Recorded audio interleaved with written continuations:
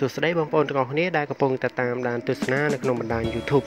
បាទអញ្ចឹងថ្ងៃនេះដែរគឺខ្ញុំសូមបន្តទៅនឹងមេរៀនគណិតជាថ្នាក់ទី6បន្តទៅទៀតអញ្ចឹងនៅក្នុងវីដេអូសាមុនគឺយើងបានសិក្សាអំពីការចែកចំនួនទស្សភាគហើយនិងចំនួនគត់បាទអញ្ចឹងថ្ងៃនេះគឺខ្ញុំសូមបង្ហាញអំពីវិធីផ្ទុយពីហ្នឹងគឺយើងសិក្សាអំពី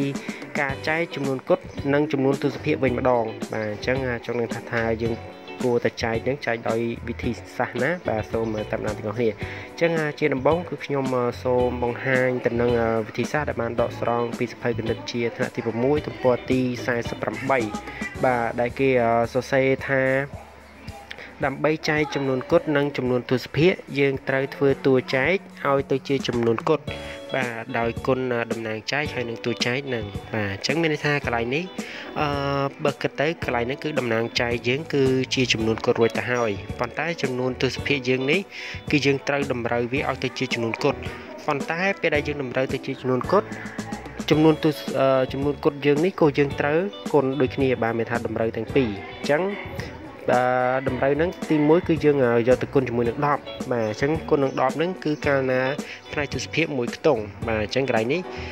ចំនួនតួចៃយើងគឺចំនួនទស្សភាហើយចំនួនគុណយើងធម្មតាទេអញ្ចឹងបើចំនួនទស្សភាយើងនេះតាមមានថាតួចៃយើងនឹងមានចំនួនទស្សភាពមួយខ្ទង់គឺយើងយកទៅគុណជាមួយនឹង10បាទអញ្ចឹងតួចៃក៏គុណនឹង10 ចំនួនគត់យើងនេះតំណាងចៃយើងក៏គុណនឹង10ដូចគ្នា បាទហើយទី2គឺយើងគុណនឹង100បាទកាលណាផ្នែកទស្សភាព2ខ្ទង់បាទអញ្ចឹងបើសិនជាតួចៃយើងមានផ្នែកទស្សភាព2ខ្ទង់យើងគុណនឹង100ហើយតំណាងចៃយើងក៏គុណនឹង100បាទហើយចុងក្រោយគឺយើងគុណនឹង1000បាទកាលណាផ្នែកទស្សភាពមាន3ខ្ទង់បាទអញ្ចឹងបើសិនជាតួចៃយើងមានផ្នែកទស្សភាព3ខ្ទង់គឺយើងគុណនឹង1000ហើយចំនួនគុណយើងក៏គុណនឹង1000ដូចគ្នាបាទអញ្ចឹងនឹងគឺជាវិធីសាស្ត្រដែលគេបានចងក្រងសម្រាប់ឲ្យសិស្សានុសិស្សអនុវត្តប៉ុន្តែបន្តិចទៀតគឺខ្ញុំសូមបង្ហាញពីវិធីសាស្ត្ររៀងងាយជាងនឹងបន្តិចបាទអញ្ចឹងដើម្បីងាយស្រួលគិតជាងនឹងបន្តិចបាទអញ្ចឹងឥឡូវយើងចូលរួមទស្សនាទៅនឹងការអនុវត្តទាំងអស់គ្នាអញ្ចឹងខ្ញុំមានលំហាត់2ឥឡូវលំហាត់ទី1គឺ9300ចែកជាមួយនឹង77.5 បាទអញ្ចឹងបងប្អូនសង្កេតឃើញហើយកន្លែងនេះគឺជាចំនួនគត់បាទហើយផ្នែកខាងនេះគឺជាចំនួនទស្សភាគអញ្ចឹងកន្លែងហ្នឹងគោលបំណងយើងមានន័យថាវិធីសាស្ត្រយើងដំបូងកន្លែងនេះគឺផ្នែកទស្សភាគមួយខ្ទង់អញ្ចឹងគឺយើងត្រូវយកទៅគុណជាមួយនឹង10បាទអញ្ចឹងយើងគុណនឹង10ទៅយើងប្រកាសជាឃើញចម្លើយផ្នែកកន្លែងនេះតួចៃយើងនេះបើយើងគុណនឹង10គឺបាន775 បាទអញ្ចឹងហើយកន្លែងនេះគឺយើងគុណនឹង10គឺបាន93000បាទអញ្ចឹងបងប្អូនអាចយកទៅគុណក៏បានឬមួយក៏នេះมันបាច់គុណក៏បានដែរដោយគ្រាន់តែបងប្អូនលុបសញ្ញាទស្សភានេះចោលមានន័យថាកន្លែងនេះខ្ញុំទៅស្រីខាងនេះតិចបាទអញ្ចឹង77យើងចុចជាមួយនឹង77.5បាទ ចឹងពេលដែលយើងចង់បដូរទៅជាចំនួនគត់គឺបងប្អូនគ្រាន់តែលុបសញ្ញាចុចនេះចោលតាបាទអញ្ចឹងគ្រាន់តែលុបសញ្ញាចុចនេះចោលទៅគឺជាការស្រេចហើយអញ្ចឹងវាបាន775បាទប៉ុន្តែបងប្អូនចាំថាអឺបើសិនជាផ្នែកទស្សនវិជ្ជានេះមួយខ្ទង់អញ្ចឹងអាផ្នែកខាងតំណាងចៃយើងនេះត្រូវថែម01បាទហ្នឹងយើងមិនបាច់ចាំយកទៅគុណទេបាទយើងគ្រាន់តែបន្ថែម0ទៅឲ្យផ្នែក គុតនឹងទៅជាការស្រេចអញ្ចឹងបើសិនជាខាងនេះវាមានផ្នែកទស្សនវិជ្ជា2ខ្ទង់បងប្អូនលុបដូចគ្នាបាទលុបទៅហើយយើងថែមផ្នែកចំនួនតំណាងចៃជាងនេះថែមលេខ02បាទបើមាន3យើងថែម3ចឹងអាហ្នឹងគឺងាយស្រួលជាងគុណបាទគុណយើងនៅយូរនៅអីចឹងទៅវាបាទស៊ីម៉ោងស៊ីអីដែរអញ្ចឹងកន្លែងនេះយើងគ្រាន់តែលុបសញ្ញាទូស្ពាកចោលរួចហើយយើងបន្ថែមតែសូនឲ្យខាងតំណាងចៃយើងនេះទៅឲ្យគ្រប់ស្មើទៅនឹងចំនួនទូស្ពាកយើងនេះបាទជាការស្រេច បាទអញ្ចឹងកន្លែងហ្នឹងគឺខ្ញុំចាត់ទុកថាប៉ុណ្ណឹងទៅបាទយើងកាត់ទៅនេះចោលហើយយើងថែម01អញ្ចឹងកន្លែងហ្នឹងគឺយើងបាន93000នេះបាទអញ្ចឹងអាសូននេះគឺមានន័យថា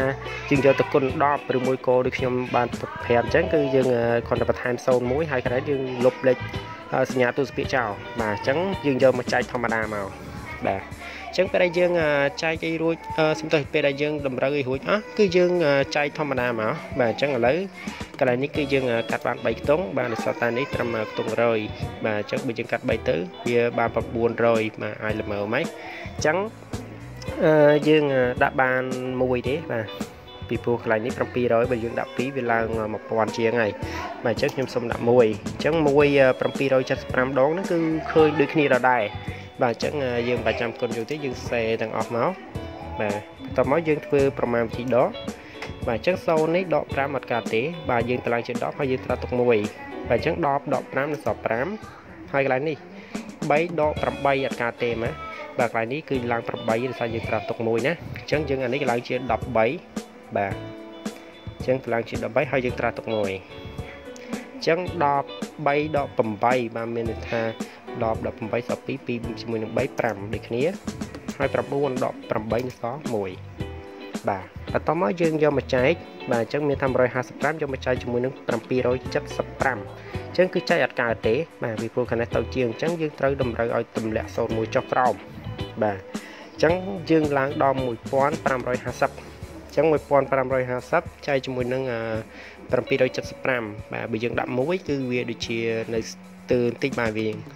នៅខុសគ្នាឆ្ងាយបើយើងដាក់2វាបាន1400ជាងដែរបាទអញ្ចឹង1000បើគេទៅវា7 2ដង14អញ្ចឹងអាចល្មមហើយបើយើងដាក់3វាលើអញ្ចឹងខ្ញុំសុំដាក់2អញ្ចឹង2 5ដង10សរសេរលេខ0ហើយយើងត្រាទុក1 2 7ដង14 14នឹង1 15សរសេរលេខ5 10ត្រាទុក1 2 7ដង14 14បូក1ស្មើនឹង15ណាហើយជាងធ្វើមកទីដកគឺស0 បាទប៉ុន្តែដោយសារតែលេខយើងគឺស01នេះអត់មានបានកណនាទេហើយលេខយើងគឺចែកដាច់ហើយអញ្ចឹង01នេះគឺយើងបញ្ជូនមកឲ្យផលចែកនេះតែម្ដងបាទ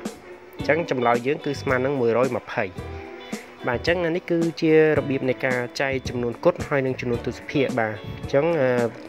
វិធីសាស្ត្រដំបូងដែលបងប្អូនត្រូវចាំគឺដូចខ្ញុំបានបង្ហាញគឺសំខាន់គឺលុបតែសញ្ញាទស្សភាគនេះចោលហើយយើងបន្ថែម0មកឲ្យផ្នែកខាងតំណាងចែកឲ្យគ្រប់ទៅជាការស្រាវបាទឬមួយក៏យើងអាចយកទៅគុណបាទគឺចម្លើយដូចគ្នាទេអញ្ចឹងឥឡូវសូមបង្ហាញលំហាត់ទី2បាទលំហាត់ទី2គឺ8850ចែកជាមួយនឹង38.7បាទអញ្ចឹងលេខយើងគឺ ចំនួនគុតហើយនិងចំនួនទស្សភាគ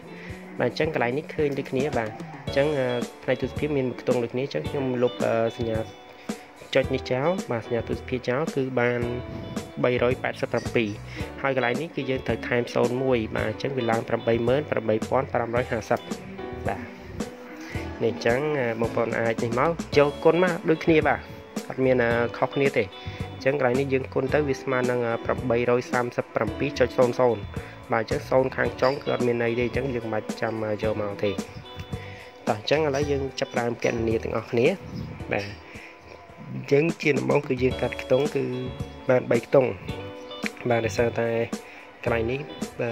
យើងកាត់ទៅវាធំជាងហើយ800ជាងហើយបាទអញ្ចឹងឥឡូវបងប្អូនអាចពិនិត្យមើលបាទគឺយើងដាក់បើនេះ3 2ដង6បើ3 3ដង9វាលើសអញ្ចឹងខ្ញុំដាក់2បាទអញ្ចឹង2 7ដង14សរសេរលេខ4បាទ10ត្រូវទុក1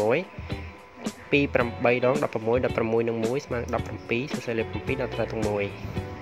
2 3ដង6 6នឹង1ស្មើនឹង7បាទរួចយើងធ្វើប្រមាណវិធីដក5ដកឲ្យ4សល់1 8ដក7សល់1 1ដូចគ្នាបាទអញ្ចឹងគឺស្មើ111បាទអញ្ចឹង111มันអាចចែកបានទេយើងទម្លាក់5នេះចុះក្រោមបាទអញ្ចឹងវាឡើង1115ចែកនឹង387បាទអញ្ចឹងបងប្អូនអាចដាក់ប៉ាន់ស្មានមើលបើសិនជាយើងដាក់2គឺបាន700បើយើងដាក់3អាចដូចជាលើស1000ជាងហើយបាទលើសខាងនេះច្រើនអញ្ចឹងយើងដាក់បាន2ដដែលបាទ ចឹងពី8សំទោសពី387ដងគឺស្មើនឹង774នេះបាទអញ្ចឹងខ្ញុំសូមសរសេរលេខនឹងតែម្ដងបាទនេះហើយយើងធ្វើប្រមាណវិធីដកបាទអញ្ចឹង5ដកឲ្យ4អស1 1នេះដកឲ្យ7កើតទេតឡើងជា11ហើយយើងត្រាទុក1បាទអញ្ចឹង10ដកឲ្យ3សល់7 7បូកជាមួយនឹង1ស្មើនឹង8សំទោស10 17នេះសល់3 3 1 4បាទសូមអធិស្ឋានបងសេលេខ4ហើយកន្លែងនេះបាទ10ដក8នៅសល់2 2នឹង1បាទស្មើនឹង3បាទហើយ1នេះយើងជើដកជាមួយនឹងអត្រាទុកដែលយើងបាននេះខ្ចីនេះមិញហ្នឹងបាទអញ្ចឹងស្មើនឹង0បាទបន្តមកទៀតគឺយើងត្រូវការតម្លាក់ លេខបន្ថែមដើម្បីឲ្យវាចែកបាននេះដាច់ភាសាកន្លែងនេះគឺយើងតិចជាងបាទអញ្ចឹងខ្ញុំសូមតម្លាក់សូនចុះបាទអញ្ចឹងកន្លែងនេះគឺ3000ជាងបាទអញ្ចឹង3000ជាងគឺកន្លែងនេះបើយើងដាក់3 10ដងគឺស្មើនឹង3000ហ្នឹងហើយប៉ុន្តែมันអាចដល់3អញ្ចឹងយើងដាក់9មក927អញ្ចឹងអាចទិញទួយប៉ុន្តែ 9 8ដង72យើងសេលេខ2ត្រាទុក7បាទអញ្ចឹងវាលើសច្រើនបាទអញ្ចឹងបូកជាមួយនឹងវាច្រើនអញ្ចឹងយើងដាក់បានតែ8ទេបាទតែអញ្ចឹង8 7ដង56សេលេខ6ត្រាទុក5 8 8ដង64 64និង5ស្មើនឹង69សេលេខ9បាទត្រាទុក6 8 3ដង24 24និង6 30បាទអញ្ចឹងវាប៉ុណ្ណឹងអាចនេះហើយ បាទអញ្ចឹងយើងចាប់5ដកអញ្ចឹង0នេះដក6កើតទេតឡើងជា10ហើយត្រាទុក1នេះ10 16នៅសល់4ហើយកន្លែងនេះ10បាទអញ្ចឹង11ដក10នៅសល់1ហើយត្រាទុក1បាទអញ្ចឹង4ដកឲ្យ1នៅសល់3 3 13នៅសល់0បាទអញ្ចឹងលេខកន្លែងនេះគឺយើងអស់ហើយអត់មានអីតម្លាក់ចុះបានទៀតទេ បាទអញ្ចឹងនៅសល់314អញ្ចឹងយើងចង់កណនីតទៀតក៏បានមិនចង់កណនីក៏បានដែរប៉ុន្តែកន្លែងនេះខ្ញុំកណនីមួយទៀតចុះដើម្បីឲ្យលេខហ្នឹងយើងអាចបើសិនជាប្រកួតទៅអាចដឹងថាប្រកួតយកត្រឹម228ឬមួយក៏យើងអាចប្រកួតបានមួយទៀតបាទអញ្ចឹងខ្ញុំសូមបន្ថែម01ហើយយើងចុចមួយកន្លែងនេះបាទអញ្ចឹងគោលការណ៍វិធីចែកពេលដែលយើងថែម0ដំបូងបាទគឺយើងត្រូវចុចមួយបាទអញ្ចឹងគឺ3140 បាទអញ្ចឹងបងប្អូនឃើញហើយពេលដែលយើងដាក់8ទៅគឺបាន3096អញ្ចឹងគឺវាប្រហាក់ប្រហែលនឹងអានឹងដែរបាទអញ្ចឹងយើងមិនអាចដាក់ដល់9ទេ9គឺលើហើយបាទអញ្ចឹងខ្ញុំសុំដាក់8អញ្ចឹង8ប៉ុណ្ណឹងដងគឺដូចគ្នាបាទចម្លើយគឺឃើញប៉ុណ្ណេះដូចគ្នាអញ្ចឹងសរសេរយកតែម្ដង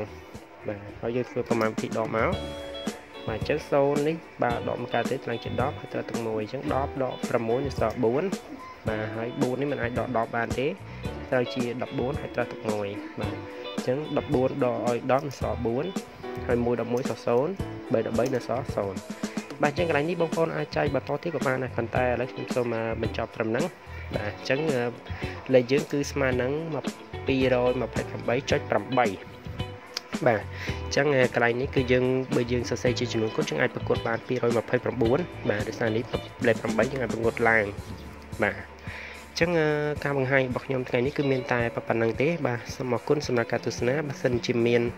កំហុសខុសឆ្គងដោយប្រការណាមួយសូមមេត្តាអធិស្ឋានផងបាទហើយបងប្អូនកុំភ្លេចជួយ like និង subscribe ចំពោះបងប្អូនណាដែលមិនទាន់បាន subscribe បាទអញ្ចឹង